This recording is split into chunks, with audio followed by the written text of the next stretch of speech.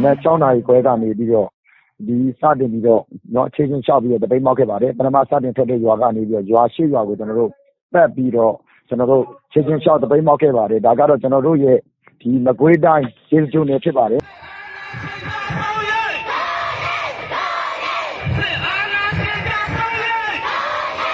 စကစရဲ့အာဏာသိမ်းစစ်အစိုးရရဲ့တရားမဝင်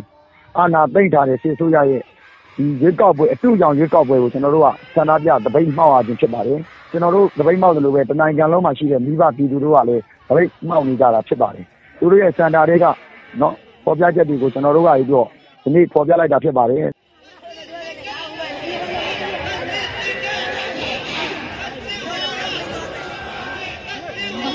စကစကကျနော်တို့အိမ်တွေကိုမီးရှို့တယ်။ရွာတွေကိုမီးရှို့တယ်။ကျနော်တို့ရဲ့ဒေ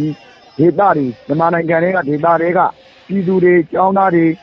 ကိုအတင်းဖမ်းအတင်းသတ်သူတို့လုပ်ချင်သလိုလုပ်လေယာဉ်တွေနဲ့ပစ်လို့ပစ်ဒီလိုပြစ်မှုကျူးလွန်ထားတဲ့တရားခံတွေဖြစ်ပါတယ်။ဒီတရားခံတွေကသူတို့ရဲ့မတရားမှုတွေကို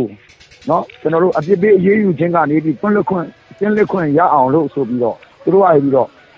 နိုင်ငံရေးမသမာမှုနဲ့ဒါဟာရွေးကောက်ပွဲအတုအယောင်ကိုသူတို့ကနေပြီးတော့ဖန်တီးနေတာဖြစ်ပါတယ်။ဒါကြောင့်ဒီရွေးကောက်ပွဲ အတုအယောင်ကိုကျနော်တို့ကလက်မခံနိုင်တာဖြစ်တဲ့အတွက်မတရားတဲ့အတုအယောင်ရွေးကောက်ပွဲလူထုအားနဲ့တိုက်ဖျက်ကြဆိုတဲ့ Slogan ရယ်ကျနော်တို့ကအာဏာရှင်မှန်ရင်ဘယ်အာဏာရှင်မှမြန်မာ့မြေပေါ်မှာရှင်သန်ခွင့်မပေးတာဖြစ်တဲ့အတွက်အာဏာရှင်မှန်သမျှအမြစ်ပြတ်ချေမှုန်းကြဆိုတာရယ်ကိုကျနော်တို့ရဲ့ Slogan မှာအဓိကရည်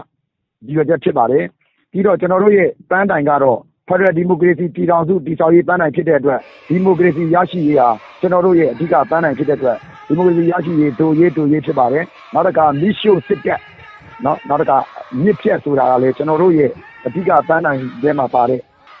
Slogan ထဲမှာပါပါတယ်။ဘာကြောင့်လဲဆိုရင်သူတို့ကမိဘပြည်သူတွေရဲ့အသက်အိုးအိမ်စည်းစိမ်တွေရွာတွေအိမ်တွေကိုမီးရှို့ဖျက်ဆီးနေတာဖြစ်လို့ဖြစ်ပါတယ်ခင်ဗျ